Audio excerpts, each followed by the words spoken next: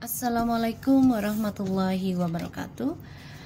Hai guys, kembali lagi di channel aku Lagi Tarot MS Hari ini aku bacakan untuk Aquarius di bulan April. Dicek Sun, Rising Moon, dan Venusnya. Jangan percaya tarotnya 100% karena tarot bukan Tuhan. Jadi bijak dalam menonton tarot aku. Gunakan dengan baik energi tarot yang aku tebar Ya, oke. Okay. Bismillahirrahmanirrahim. Alhamdulillahirabbil alamin.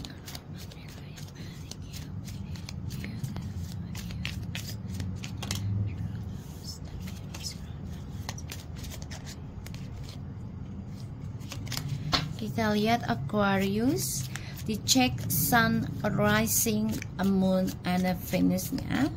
Insya Allah ini bisa 90% menjadi nyata lihat Aquarius the four of sword wih Aquarius. Ah, kamu sedang merasakan banyak kelelahan ya dalam kehidupan kamu. Kamu coba untuk berpikir kembali merenungi ya.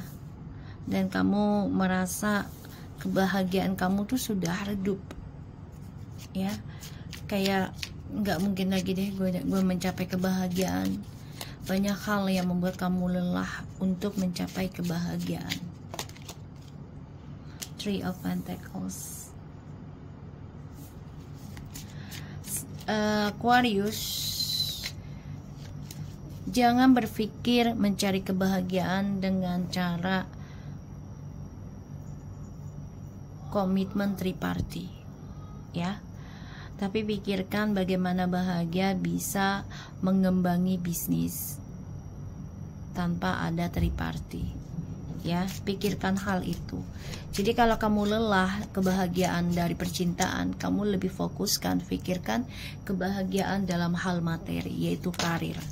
Ya itu yang kamu pentingkan. Ya Aquarius. Queen of Pentacles okay. Aquarius uh, belajar untuk komitmen dalam menjalani suatu uh, perjalanan hidup, terutama kerjasama dengan seseorang, entah itu secara hubungan ataupun secara rekan kerja kalau kamu ingin break up ya break up aja silakan gitu ya tapi jangan sampai ini membuat kamu lelah membuat kamu capek ya. Dan jangan sampai juga kamu berpikiran negatif ya dalam uh, sebuah komitmen gitu ya. Kalau mencari kebahagiaan itu ya harus ada cadangan jangan ya. Oke okay. the first sword the sun the three of pentacles and the queen of pentacles. Uh, Aquarius kamu coba untuk bisa mengerjakan tentang hal-hal positif di dalam pekerjaan kamu tapi kamu juga ada rasa takut ya. Kebahagiaan itu ya ada hal-hal triparti. Kamu takut juga sebenarnya. Tapi sebagian ada yang memikirkan gimana caranya memperbaiki komitmen tanpa ada triparty. Sebagian dari Aquarius ini ada yang break up, ibarat tuh ya istirahat dulu dalam sebuah hubungan, coba untuk focusing dalam karir. Five of Pentacles, the Page of Swords, and Six of Wands, and the Five of Wands. Hati-hati untuk Sagittarius kisah di masa lalu ini masih menghantui kamu, masih memantau kamu, ya, yang mana kisah di masa lalu ini penuh dengan ego, entah kamu ataupun pasangan kamu, ini banyak banget drama dan ini masih membuat kamu merasa kehilangan, ya, kehilangan. Dan Aquarius di sini harus kuat dengan instingnya ya, gunakan itu dengan baik. Dan kamu juga harus kuat dengan intuisi kamu. berhati-hati dalam bertindak, berucap, dan hati-hati dalam ketika kamu meraih kesuksesan. Jangan menjadi orang yang egois dan sombong, karena ini akan dihantui tentang kehilangan. Ya, kita lihat lagi. Jadi perbaiki tentang cara kamu berkomitmen, ya, bertanggung jawab apa pun yang sudah menjadi perjalanan hidup kamu jalani. Ya, kita lihat untuk Aquarius the strange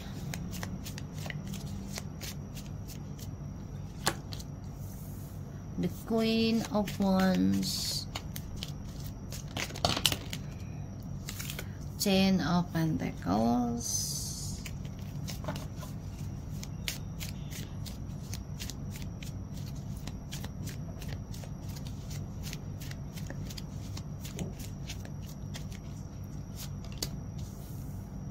the Queen of Cups, the Star, King of Wands, Four of Pentacles, and the Five of Swords in the reverse, the Lovers in the reverse, and the Tower. Aquarius mengalami suatu kehancuran yang mana ada perpisahan. Tapi kamu stuck untuk move on ya. Kamu belum bisa move on dari adanya perpisahan ini. Dan kamu merasa ya semuanya stuck dalam meraih masa depan kamu ke depannya saat ini ya. Dan di bulan April Aquarius ya harus bisa mengambil action ya untuk meraih perjalanan spiritual. Jadi perbaiki lagi spiritualnya kamu. Kamu juga harus menggenggam janji kamu Strange, the Queen of Wands, Ten of Pentacles, and the Queen of Cups. Belajar komitmen, perbaiki tentang kebahagiaan dengan hal-hal positif, walaupun itu melelahkan, ya. Diterima aja dulu, dan ya kamu harus kuatkan insting kamu, kuatkan niat kamu kuatkan tujuan hidup kamu, terutama dalam membahagiakan lagi keluarga, entah itu istri, suami, atau anak, atau ibu, bapak, ya, keluarga kamu. Dan kamu harus kuat dalam menjalani perjalanan spiritual ya dengan cara bahagiakan keluarga kamu aja dulu. Walaupun terkadang kamu lelah, capek gitu ya dengan kebahagiaan yang kamu terima ini tidak membuat kamu sepenuhnya bahagia. Tapi inilah kehidupan. Dan kamu juga harus berpikir tentang kepentingan kamu sendiri. Focusing dalam uh, karir kamu. Kalau kamu fokus untuk bahagiakan keluargamu insya Allah kesuksesan akan kamu raih.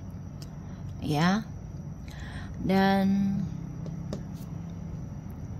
kamu harus focusing dalam memaafkan dan melepaskan sesuatu. Kamu juga harus bisa belajar optimis dalam menjalani sebuah komitmen atau kerjasama mengembangkan suatu ide ataupun suatu uh, talenta. Dan di sini kamu juga harus bisa terus memperbaiki kebahagiaan kamu dan keluarga walaupun itu membuat kamu lelah.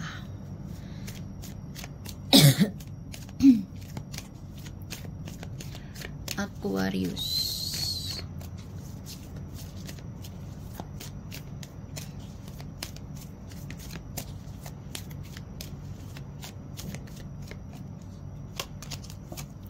Let go of the control issue Allow the situation to unfold naturally.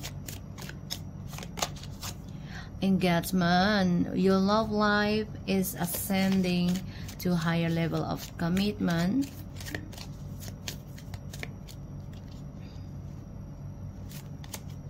You deserve love. Aquarius, free yourself and the children.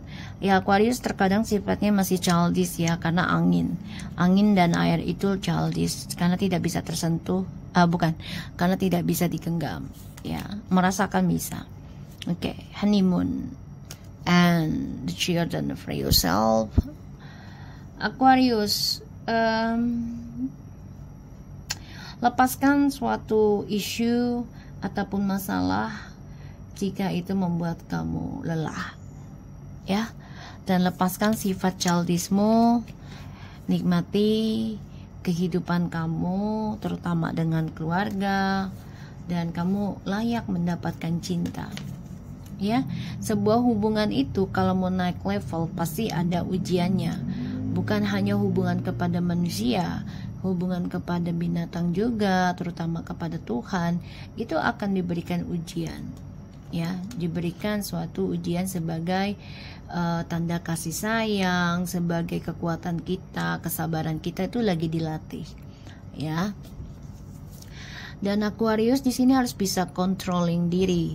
Jangan sampai uh, emosionalnya kamu sifat childishnya kamu ini malah membuat kamu merasa dikerangkeng oleh ego dan hasrat hawa nafsumu. Hati-hati ya. Dan di sini kamu harus bisa focusing dengan karir kamu. Insya Allah ada rezeki besar kamu dapati asalkan tadi aku bilang belajar memaafkan, melepaskan dan melupakan dan kamu juga harus kuat menikmati perjalanan spiritualnya kamu dengan cara fokuskan bahagiakan keluarga kamu. Entah itu anak, istri, suami ataupun ibu, bapak, keluarga kamu, ya. Bebaskan sifat kekanak-kanakannya kamu untuk saling mengenal diri satu sama lainnya. Dan kamu juga harus bisa uh, mengistirahatkan perjalanan hidup kamu. Kalau kamu lelah dengan komitmen triparty ya kamu break break aja dulu istirahat. Jadi kayak benahi diri. Kalau yang masih menikah ya jangan langsung cerai nggak boleh. Kalau yang masih menikah benahi diri. Biarkan dia dengan orang lain. Ya biarkan saja. Kamu bahagiakan diri kamu. Banyakin uh, uh, apa namanya link tentang bisnis ya. Focusingnya ke sana saja. Oke? okay? Aquarius. So aku harap ini bisa resonate buat kita semua. Jangan lupa bantu subscribe, like, comment, and share. And no skip iklan channel aku kita rata Take care of you guys. Assalamualaikum warahmatullahi wabarakatuh.